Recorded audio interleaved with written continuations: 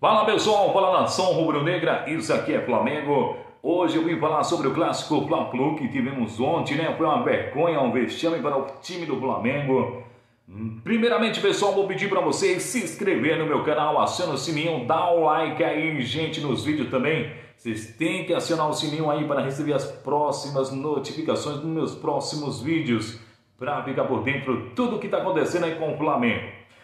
É uma vergonha, Rogério Ceni, é uma vergonha o time do Flamengo. O time do Flamengo jogou nada, nada. Um time que não cria, um time que você não vê uma jogada de perigo, um time que não chuta no gol. Nunca vi um time de futebol ganhar jogo sem chutar ao gol. Parece que o Flamengo quer entrar com bola e tudo dentro do gol. O time não está jogando bem, o time não arrisca, o time não chuta no gol, o time só fica tocando a bola sem objetivo nenhum. Não tem objetivo, que o objetivo do futebol é fazer o gol. O Flamengo não. O objetivo do Flamengo é só tocar a bola. Pelo amor de Deus, Rogério Senna chega numa entrevista, fala que o Flamengo foi bom de quê, Rogério Senna?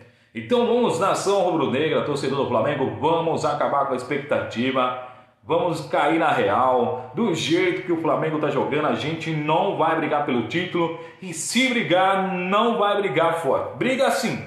Manter o segundo lugar, gente. Essa é a realidade do Flamengo. Se for para brigar, vai brigar ali pelo segundo e olha lá se não vai ficar em terceiro lugar no Campeonato Brasileiro.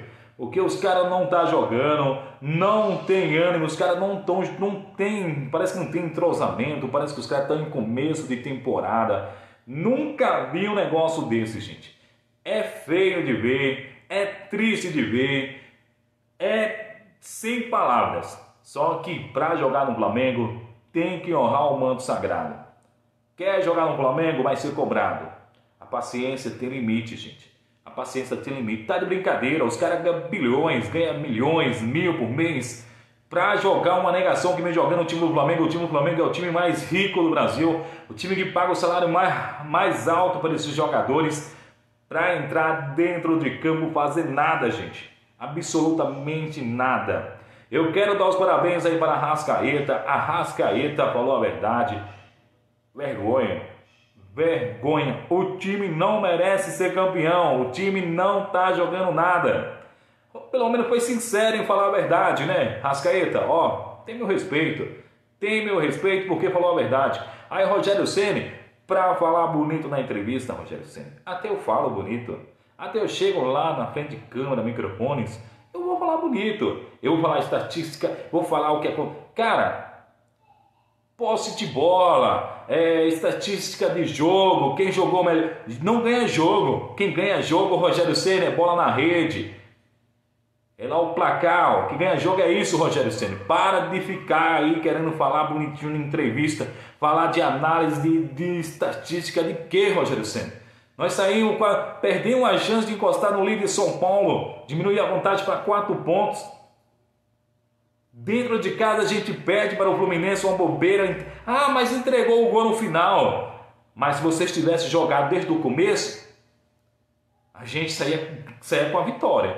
Porque não jogou nada. Uma outra chance que teve, o Flamengo fez um gol com o Rascaeta, outra e outra chancinha ali, só.